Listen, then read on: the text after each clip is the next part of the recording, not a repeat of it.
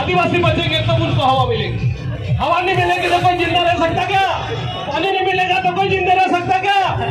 ये ये आदिवासी का सबसे टोटली सिद्धांत है उनकी परिस्थिति तंत्र है, कि पूरा पूरी प्रकृति हिस्सा है। इसलिए संयुक्त राष्ट्र संघ ने कहा, आदिवासी को बचा लो, ये धरती पूरी बच जाएगी, धरती के दुनिया के लोग बच जाएँगे, यदि आदिवासी को खत्म कर दिया तो आप भी खत्म हो जाओगे, क्योंकि हवा और पानी आपको नहीं मिलेगा।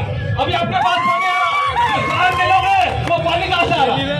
आदिवासी क्षेत्र रहा हवा कहाँ से आ रही? आदिवासी क्षेत्र का जो जंगल है वहीं से आपको हवा मिल रही यदि हवा और पानी का किसी के पास विकल्प है दूध का कोई विकल्प है? ये हमको सोचना है। आने वाली पीढ़ी को हम ये ऐसा करके नहीं जाना है कि आने वाली सीधी पीढ़ी आदिवासी से खत्म हो जाएगी। हमारे बाप दादा अनपढ़ थे लेकिन इतना कानून बना गया है आने वाली पीढ़ी आज भी इसी कानून के अनुसार चल रही है। चाहे मुसलमान है पजीबुलार अंग्रेज़ आए, उसका विशिष्ट अधिकार दिया, उसको कोई हटा नहीं सकता है। और आज़ाद भारत में भी जयपाल मुंडा ने कहा I am hunter I am a शिकारी, लेकिन हम आदिवासी है, हमारा पहला हक है।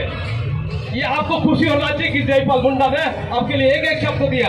उसने ये कहा, दारू रखने का अधिकार हम जानते हैं। उसको कैसे बनाना है एक एक झाड़ का मेडिसिन कैसे बनाना भाजी को कैसे खाना ये आदिवासी लोग जानते तुम क्या जानते ये जयपाल मुंडा ने कहा था।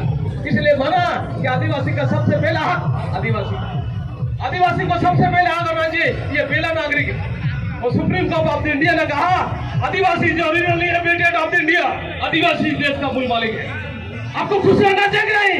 अरे आपका सुप्रीम कोर्ट के का